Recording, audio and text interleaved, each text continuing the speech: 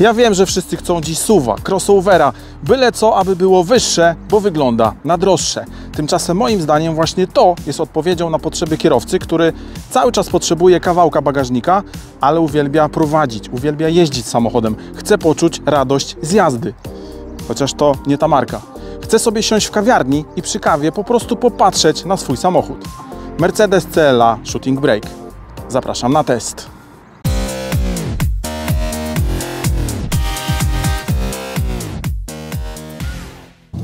Cześć wszystkim, witajcie w kolejnym materiale na kanale. No i takie samochody to ja mogę testować. Chociaż pewnie powinienem powiedzieć, póki jeszcze w ogóle są. No bo może pytanie do Was. Jaki model widzielibyście jako rywala CLA w wersji Shooting Brake? Dajcie znać w komentarzach, a ja tymczasem powiem kilka słów na temat partnera dzisiejszego odcinka. A jest nim ponownie Car Vertical, który dla moich widzów przygotował 20% zniżki na pobranie raportu dotyczącego używanego samochodu, którym jesteście zainteresowani. Czego możecie dowiedzieć się z takiego raportu? No to sprawdzamy przede wszystkim, czy samochód nie był kradziony. Czy ktoś nie bawił się w kręcenie licznika? Sprawdzicie, kiedy i gdzie taki samochód przeszedł przegląd, jaki jest jego status finansowy i prawny, a przede wszystkim sprawdzicie, czy nie miał jakichś uszkodzeń. Co więcej, nie jest to tylko taka sucha informacja, że miał, ale możecie sprawdzić zdjęcia z takich wypadków. No i zobaczcie, jak pięknie wyglądał prezentowany samochód. Także pamiętajcie, aby zawsze zrobić wszystko, co możecie przed zakupem używanego samochodu. I jeszcze raz przypominam, klikając w link, który macie w opisie do tego filmu, zrobicie to 20% taniej. Także działajcie, a my wracamy do testu. Dobra, to na początek może pewne umiejscowienie tego samochodu na rynku. Powiem tak, jestem wielkim fanem klasy A. Szczególnie takich fajniejszych wersji, mocniejszych wersji, uwielbiam ten samochód. Ale gdybym miał go kupić dla całej swojej rodziny, no to wiadomo, byłby po prostu za mały. Trochę lepiej jest z CLA. Nie dużo lepiej, ale trochę lepiej, przy czym nadal to jest samochód, w którym my byśmy się nie zmieścili. I być może w tym momencie trzeba byłoby już przeskoczyć do klasy C. Ale to jest po pierwsze już trochę inny segment cenowy, a po drugie zupełnie inny charakter samochodu. I w tym momencie na scenę wjeżdża CLA Shooting Brake, cały na niebiesko. I teraz tak, Shooting Brake to kombi, a przynajmniej jakiś jego rodzaj. Sprawdźmy zatem, co tam słychać w bagażniku. A ten w prezentowanej wersji plug-in dysponuje pojemnością 445 litrów. Nie jest to może jakaś wartość fascynująca, ale jest na pewno lepiej niż choćby w tej wspomnianej A-klasie. I co też fajne, znajdziemy tutaj całkiem sporo miejsca pod podłogą tego bagażnika.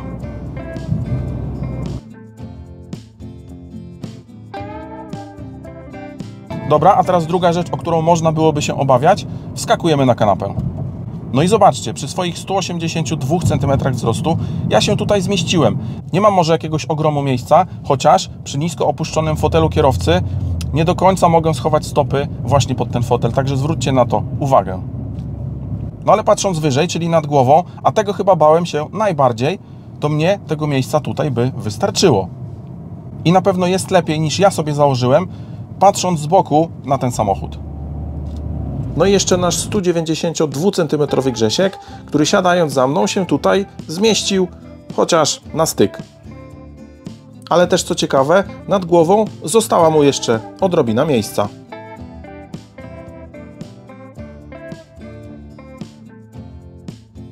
No i muszę też zwrócić uwagę na naprawdę spory tunel przed kanapą. A więc dobra, jak można byłoby podsumować tę część? Może tak, jeśli jesteś na przykład taką osobą jak ja, która nadal potrzebuje kawałek bagażnika, ale nie ma już małego dziecka i nie musi tam z tyłu wozić już wanny, prysznica, kibelka, łóżka i jeszcze 2,5 tony bagażu, to ten samochód być może Ci wystarczy. A może powinienem powiedzieć, że być może się w niego zmieścisz, bo mówię tutaj o przestrzeni. No chyba, że Twoje dziecko ma 2 metry, to wtedy może być gorzej. Ale jeśli tak nie jest, to ten samochód naprawdę robi całkiem dobre wrażenie odnośnie przestronności. I gadam o tym tak długo, bo właśnie przez przestronność A-klasa czy CLA by odpadły, a ten samochód cały czas jest w grze. A skoro jest, to lecimy dalej, przeskakujemy do przodu. I może tu trochę nietypowo. Ja czytam często opinie, że Mercedes to się tam dawno skończył, że to wszystko to jest plastik, fantastik, tandeta i tak dalej. I dla mnie to są jakieś totalne bzdury. Jeśli nie bierzemy pod uwagę jakichś gołych wersji, A kupując samochód w klasie premium, trochę bez sensu jest brać gołą wersję, bo właśnie wyposażeniem, możliwością konfiguracji, możliwością dostosowania tego samochodu do siebie i też ilością tych konfiguracji właśnie wyróżnia się klasa premium. Bo jak weźmiecie jakiegoś gołego, nawet Mercedesa i porównacie do jakiejś fajnej Mazdy, która premium przecież nie jest, no to Mercedes miałby ciężko. No ale jeśli przyjmiemy, że nie kupujemy tych samochodów golasów, to ja na przykład tutaj czuję się fantastycznie. Oczywiście rozumiem chyba trzy zarzuty. Po pierwsze, może piano black. Można to lubić, można tego nie lubić, ale i temu, co lubi, i temu, co nie lubi, to się pewnie będzie rysowało tak samo. Po drugie, ta, nie wiem jak to nazwać, ilość świateł w nocy, która do nas dochodzi, no w Mercedesach jest duża. To też można lubić albo można nie lubić. Ja może jestem dziwny, bo to lubię. No i trzecia rzecz, ta ekranoza, tabletoza, która dotyczy wielu Mercedesów. Niedługo ekran to pewnie będzie na suficie i pewnie będziemy nawet na nim stać i może siedzieć, ale na szczęście nie dotyczy to CLA. Tu mamy tylko dwa całkiem nieduże ekrany. Nic tu nie wystaje, nie mamy tutaj metrowego tabletu, także pod tym względem moim zdaniem jest tutaj naprawdę dobrze. Ale co na pewno muszę zaznaczyć, mimo tej mody na tabletozę, to Mercedes cały czas pozwala zmienić temperaturę przyciskami i to jest super.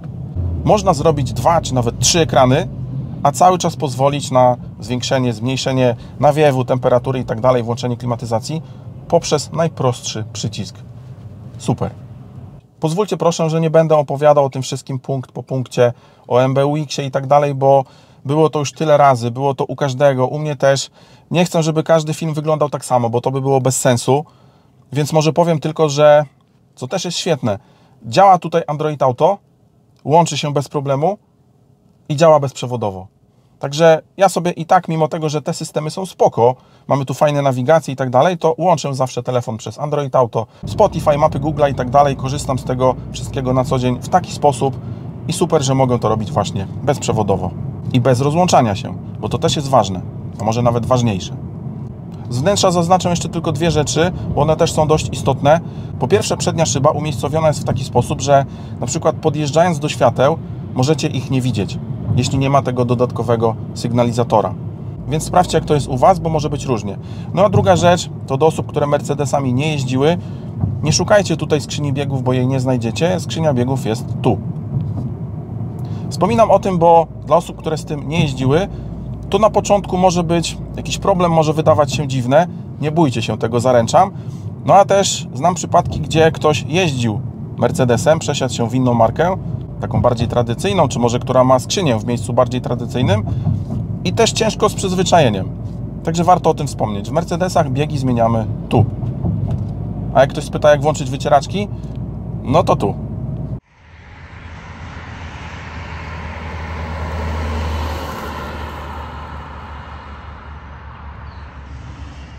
Ale dobra, uznajmy, że to wszystko mamy załatwione. Przechodzimy do jazdy. Na początek same cyferki. Zaglądamy pod maskę.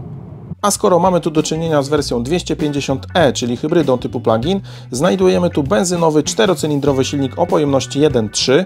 Dysponuje on mocą 163 koni mechanicznych i momentem obrotowym na poziomie 270 Nm. Akompaniuje mu silnik elektryczny o mocy 109 koni i momencie na poziomie 300 Nm. Moc systemowa hybrydy to 218 koni mechanicznych i 450 Nm maksymalnego momentu obrotowego. Samochód w prezentowanej wersji rozpędzi się do 226 km na godzinę, a pierwsza setka na liczniku pojawi się po upływie 7,7 sekundy.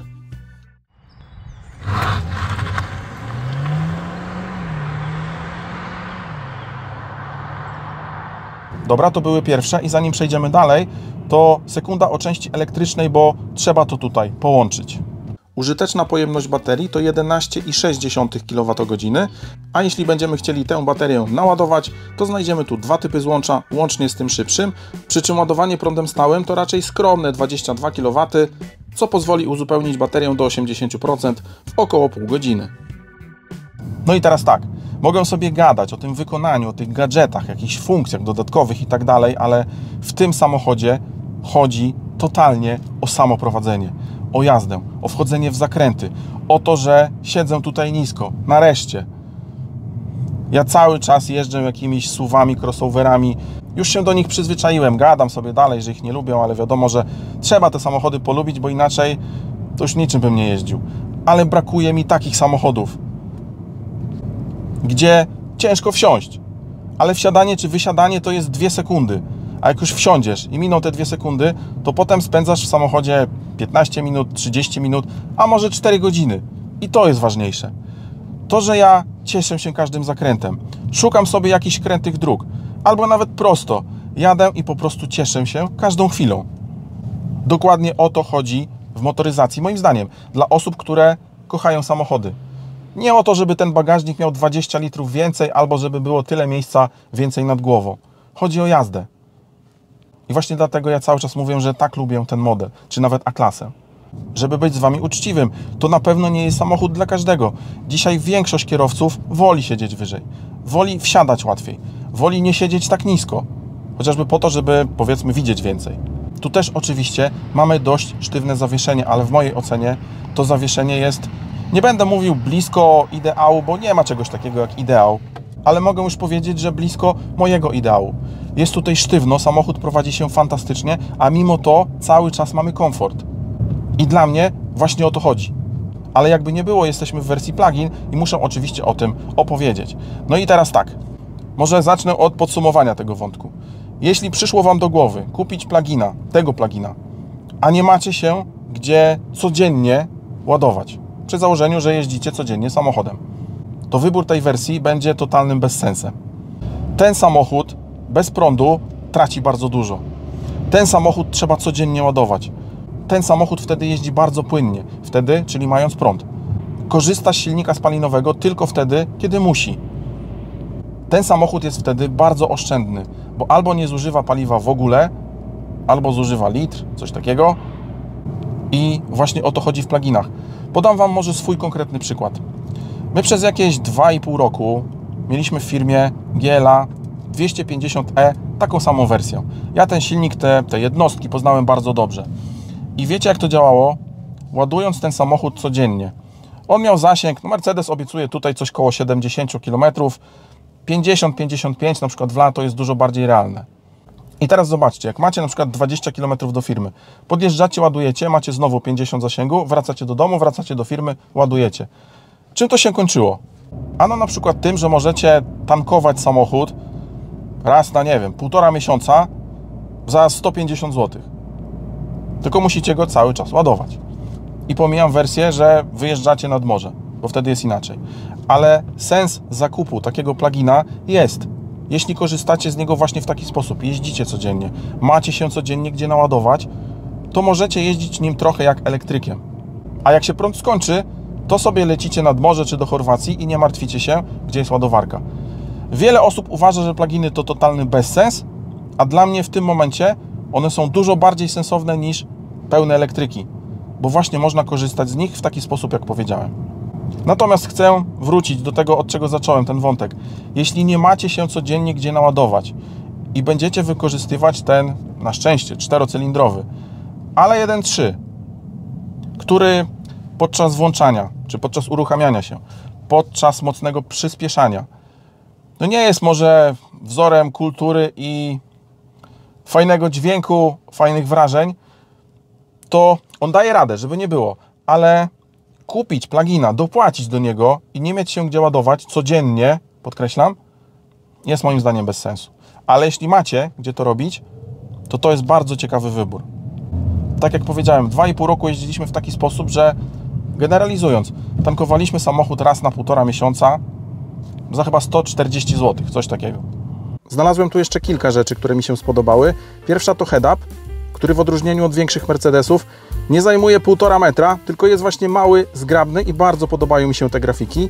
Druga rzecz to zwrotność tego samochodu, która jest niesamowita. Jakby nie patrzeć, siedzimy w kombi jakiegoś rodzaju, a zawracanie nawet na bardzo wąskich skrzyżowaniach nie stanowiło tutaj żadnego problemu. Kapitalna sprawa.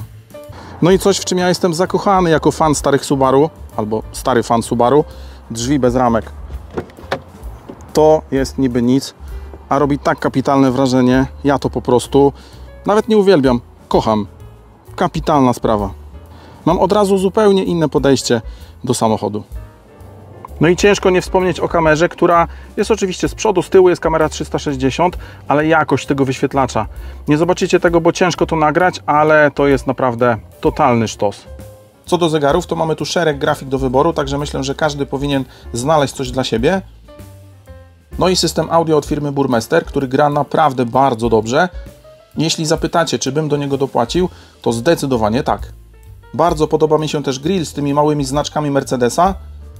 Natomiast jak to dziś coraz częściej w miejscu tych fajnie wyglądających wydechów mamy po prostu zaślepkę. I nie powiedziałem też o jeszcze jednej rzeczy. Chodzi mi o fotele. A może raczej o generalnie pozycję za kierownicą. Mercedes ma coś takiego, czego nie do końca, co nie do końca umiem wytłumaczyć, ale mnie w samochodach tej marki bardzo prosto zająć taką poprawną, fajną, wygodną pozycję za kierownicą. Zaznaczę też, taki fotel kubełkowy na pewno nie jest dla wszystkich. To.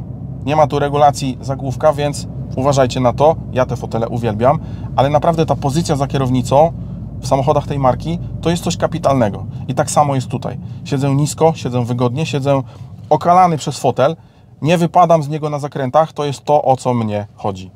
I dobra, to fotele mamy załatwione, a teraz jeszcze raz wracam do samej jazdy i bardzo ważnej ostatniej rzeczy. Bo powiedziałem, że musicie ładować ten samochód cały czas. A co się stanie, gdy tego samochodu ładować cały czas nie będziecie? No to zobaczcie. Ja w tej chwili jeżdżąc 30-40 na godzinę, mało stoję na światłach, mam spalanie 7,3. Jak wyskoczę gdzieś pod miasto, jestem w stanie spalać koło szóstki. Ale taka jazda codzienna po Warszawie w korkach 9, 10, 11 potrafią się tutaj pokazać takie wyniki. Ekspresówka, autostrada 8, 9, coś takiego. I dlatego powiedziałem, jak się będziecie ładować, to to spalanie będzie 1 albo 0. Ale jak nie będziecie, no to znowu kupiłeś plugina, bo pomyślałeś, a podjadę sobie czasem gdzieś tam na ładowarkę, a jak nie będzie, to będę jeździł na silniku spalinowym. No to będziesz spalał 9 albo 10. Musicie to wiedzieć, musicie to rozważyć. Jak macie się gdzie ładować, powiem to po raz 15, to wtedy ten samochód jest, ta wersja jest kapitalnym wyborem. Jak nie macie, no to raczej szukajcie jakiegoś innego silnika. Taka moja opinia. No ale dobra, na co trzeba przygotować się finansowo, żeby sobie coś takiego sprawić? No to sprawdzamy, ile takie cacko kosztuje. Cennik CLA Shooting Brake otwiera kwota 182 200 zł za podstawową wersję 180. Za minimum 198 200 zł dostaniemy 2-litrowego diesla, a prezentowana dziś wersja 250e to minimum 218 900 zł. Warto wspomnieć, że jak to w markach premium, bardzo łatwo tę cenę podnieść i gdy skonfigurowałem sobie wersję dla siebie, to mocno zbliżyłem się do 300 tysięcy złotych. I za chwilę podsumowanie, ale jeszcze jedna rzecz. Wygląd, bo to jest rzecz bardzo istotna, a ja o niej nie powiedziałem. Nie przypadam osobiście za kombi. Czemu? Bo mi się po prostu przeważnie nie podobają. A ten samochód, tym bardziej w takim kolorze jak ten, nie wiem czy to jest niebieski, morski, nie znam się na kolorach. I sam zdziwiłem się, że mnie się on spodobał, ale ten samochód wygląda kapitalnie. Wszyscy się za mną, za samochodem, oglądają. Tutaj mimo tego, że to jest kombi, ta ścięta linia dachu powoduje, że ten samochód jest ładny. A to by się gryzło. Ładny, kombi. Nie działa to tak. A tu działa. I może podsumuję ten samochód tak trochę na swoim przykładzie. On może Was nie obchodzić, no ale z drugiej strony oglądacie mój kanał. Testuję te samochody już od dawna, co tydzień jeżdżę czymś innym. Nie wiem, przykładowo, żeby nie szukać w innej marce. Stał niedawno pod domem EQS SUV. Samochód, któremu bliżej do miliona niż do pół miliona. I są takie samochody, jak na przykład ten EQS SUV, gdzie robisz co musisz, nagrywasz, jeździsz, żeby poznać ten samochód, robisz tyle, ile trzeba. Taka robota, no cały czas są te różne samochody. A CLA Shooting Brake to jest jeden z tych samochodów, gdzie ja robię to, co muszę, a potem sobie w trakcie dnia czy wieczorem wymyślam jakiś powód, żeby się przejechać samochodem.